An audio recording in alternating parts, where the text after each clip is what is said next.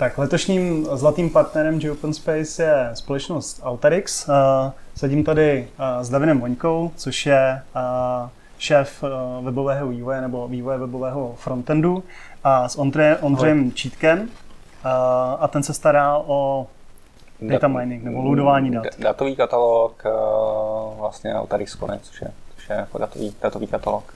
Tak Alterix se stalo vlastně partnerem naší konference relativně nedávno, nebo je to tak dva, tři roky dva, zpátky. Roky, no, no, no protože, jak jsi sám říkal, jste byli dřív startupová firma, která přerostla teď už v obrovskou mezinárodní, nechci říct korporaci, ale spíš firmu, která je obchodovaná na New Yorkské burze. Tak my jsme nepřerostli, nás koupili, že jo, nás koupil, koupila americká firma před, před dvěma lety a to jsme byli v 3 plus 1 na Karláku a teď je nás tady, teď je nás tady 40 vlastně v novém ofisu no, u Masarykova nádraží. Takže se rosteme, to, rosteme. Ten, ten život se změnil poměrně asi do zásadně, ne? No, v, čem, v čem je to lepší a v čem je to horší? Tak, eh, lepší, horší. U toho, ten, vše, všechno, má, všechno má svoje, že jo, ten, ten startup, eh, tam si rozhoduješ, co sám budeš dělat, že jo, je to, je to takový, je to, je to takový malý, strašně rychle se to otáčí, když se rozhodneš, že budeš něco dělat, tak to zítra děláš. To samozřejmě u firmy naší velikosti dneska už tak nejde. Na druhou, na druhou stranu jako startup furt řešíš, jestli máš za tři, za čtyři měsíce na platy a to je, to je zase tady taky jinak, tak ta firma má jiný, jiný zdroje dneska, jiné možnosti investovat. Mm-hmm. A ještě se zeptám, ten, ten frontend, v čem to píšete?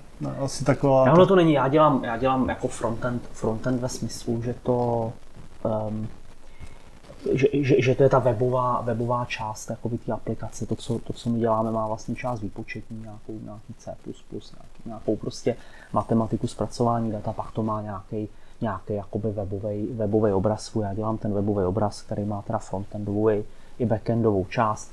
Je to všechno TypeScript, je to, je to Node.js na té čistě frontendové straně, je to potom React, Sagi, mm-hmm. Redux na té backendové straně, tam máme nějaký, nějaký modulární monolitní řešení, uh, řešení v Nodu. Mm-hmm.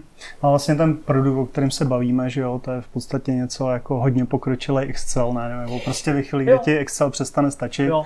a pořád jsi neprogramátor a, a potřebuješ z těch dat a z různých zdrojů vytáhnout prostě nějaký závěry, no. uh, tak, tak vlastně... Přesně, přesně tak, to je ta, to je ta matika uh, jakoby zatím, ano, je to, je to, vlastně, je to vlastně grafická aplikace pro neprogramátory, který vyrostl z Excelu. Má, ona, je, ona je vlastně založená na ideě nějakého streamového zpracování, mm-hmm. to, z toho to čerpá, čerpá svoji výkonnost, takže ty, ty data prostě si kreslíš ty jednotlivé kroky, jak je vytáhneš z nějakého zdroje, jak je profiltruješ, jak je a teď, teď to takhle spojuješ, spojuješ, joinuješ a nakonec to celý s tou uděláš mm. ten koláčový graf. Jenom to, jenom to prostě zvládne dramaticky větší množství dat a dramaticky rychlejší než ten Excel. Jo.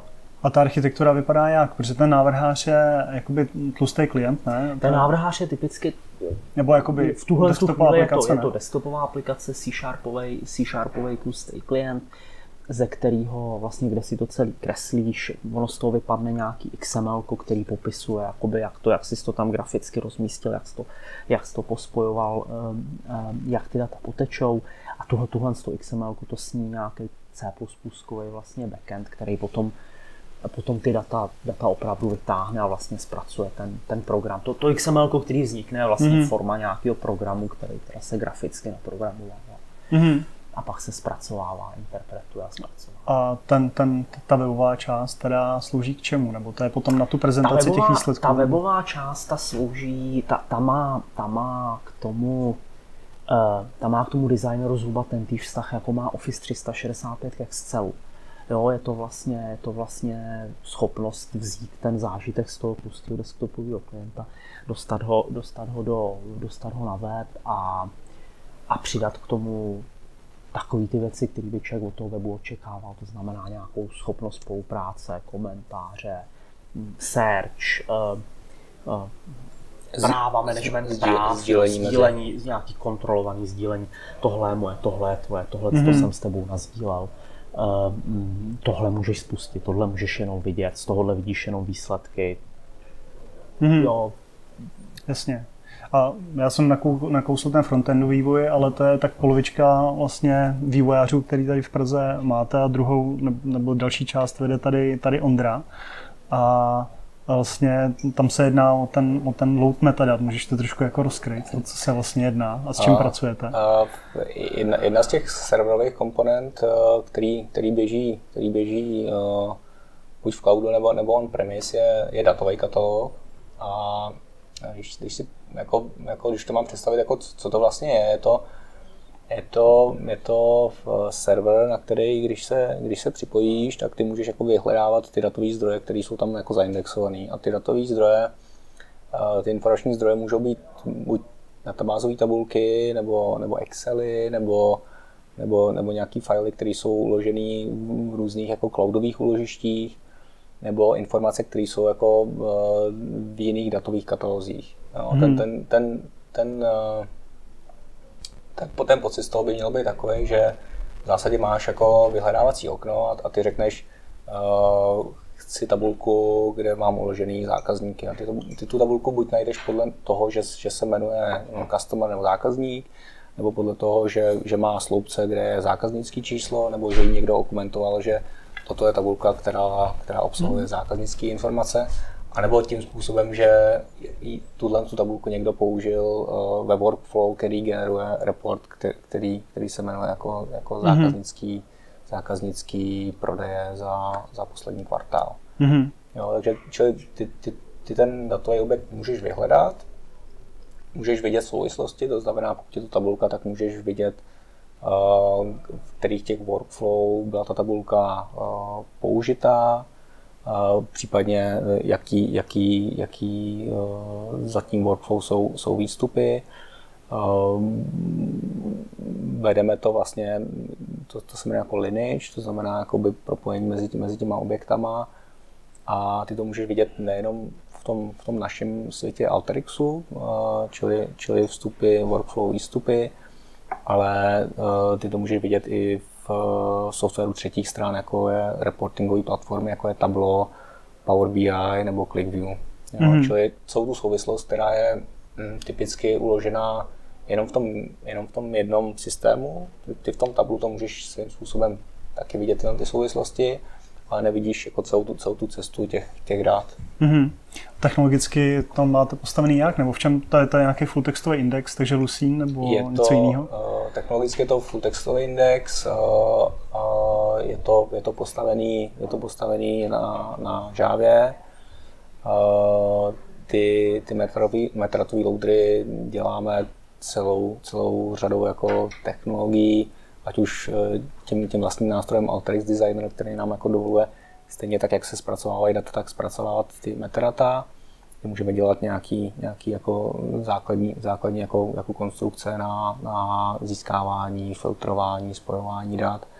Nebo používáme, používáme typicky Python a různé skriptovací jazyky na to, aby jsme se mohli připojit na, na cloudové služby ten Python jako je, je velká výhoda, protože má celou, celou řadu modulů, které jsou specializované na to, aby jsme udělali autentikaci vůči, vůči moderním cloudovým službám, aby jsme nemuseli řešit, řešit ty komponenty my, ale, ale, ale aby, aby, aby jsme si je vzali jako už, už vyřešen, aby jsme znova mm-hmm. neobjevovali kolo.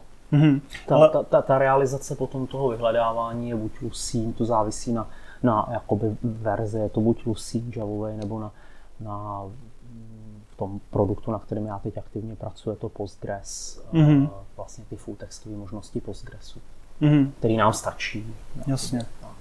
Ten Python jako rychlostně ne, není jako kdo ví jaký běžec, že jo, ale vlastně vy indexujete, vlastně vy máte ten, ten začátek, tam na tu výkonnost není až takový důraz jako potom na, na to zpracování dat a tam hmm. jedete teda v C, jste říkali. Uh, tam, tam, je, tam, tam jedem v Java. Tam jedem, Java. Tam jedem v Java mm-hmm. po, případě, po případě v eh, JavaScriptu. No, no, takhle ještě vedle toho jsou potom ty, ty, ty vlastní výpočtáři, jo, který, potom, který potom si stáhnou všechny ty data a dělají jejich filtraci a takový, to je všechno C++. Mm-hmm. Uh, ale my ani, ani, ani jeden z nás se přímo tohle z toho, toho, toho neúčastní, ale je tady v Praze tým, který, mm-hmm. který se vlastně zabývá tím, tou výpočetní část. Jasně. Ale, ale i, i z hlediska těch metadat, jako tam, tam, tam to jako dostat ty metadata z toho systému není až tak uh, výpočetně náročný ani, ani uh, náročný na, na přenosy, přenosy dat. Jako to je, je dostat do toho systému, zatřídit, zaindexovat, uh, vystavit jim, jim, jim ty prezentace. Mhm. No. Jasně. My jsme si tady ještě povídali, že je docela zajímavý, že jako ještě stále pořád majorita těch zákazníků vyžaduje on-premise řešení. Tam jde uh, o to, že nechtějí ty, ty privátní dát, data no, dát no, ven no. a přístupy. Protože vlastně my potřebujeme jít blízko datům, že jo? Mhm. Mm-hmm. Je, to, je to prostě platforma, která je o datech, o jejich zpracování, o jejich metadatech, o jejich eh, indexování, ale a v tu chvíli, kdy my bychom byli v cloudu a oni by byli on-premise, tak, tak vytváříme tam bariéru, přes kterou se samozřejmě dostat jde, ale, ale je to zbytečný. V tuhle tu chvíli ten náš target je stále ještě hlavně on-premise, byť máme nějaký cloudové iniciativy. Ale, ale je to daný, je to daný to, tím samotným biznesem, jak prostě vypadá, jak, jak jeho, kde ty datové zdroje dneska stále ještě žijou. Mhm. Se ještě zeptám na Open Space, eh, jedeš Davide určitě ty. No jo, no. Sondrou se tam uvidím, nebo? Um, asi, asi to není mo, mo, můj, mo, moje cílovka, takže, takže, takže asi, asi ne. Uh, máš vymyšlený uh, talk, nebo o čem nám No, letos povíš? Já budu, my jsme, my jsme prošli takovou zvláštní transformací, jak všichni jakoby rozbíjejí ty, ty monolitní aplikace a tvoří z nich microservisy, tak my jsme se pokusili o microservisové řešení, které teď jsme slepili zpátky do modulárního, modulárního monolitu a, a Eh, já budu, já budu povídat o tom, jak takový proces vypadá, co vlastně, co vlastně v tom monolitu jde dělat, aby se udržel, udržela ta modulárnost, aby se automaticky testovala, aby se vlastně, aby, aby nedošlo k tomu, že se z toho stanou ty slavné špagety, tak, tak, eh, eh, tak o tom budu, o tom budu povídat. Jasně. Tak jo, tak já už se těším. Díky Já moc taky. za popovídání a za partnerství a ať se vám daří. My děkujeme. To by jak se daří, ale tak jo, díky. Díky. děkujeme.